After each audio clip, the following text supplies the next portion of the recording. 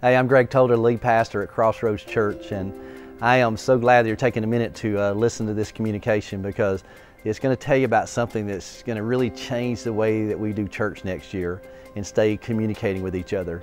You see, I know that every week that we have people that are traveling and doing other things, and, and we want to keep you in the loop, whether at Douglasville campus or Carrollton campus, because we don't want you to miss out on what God is doing and what He's done.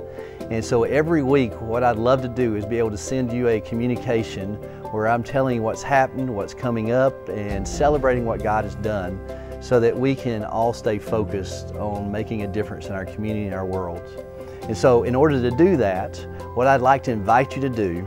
is text Love Does to the number below on your screen so that you can join this communication and be a part of everyone in Crossroads family that's staying in the loop. As we do this, we'll be able to keep our focus and really make a difference in this world together as we just plow forward so that God's kingdom can be known around this world and in our community and the love of Christ can be shared.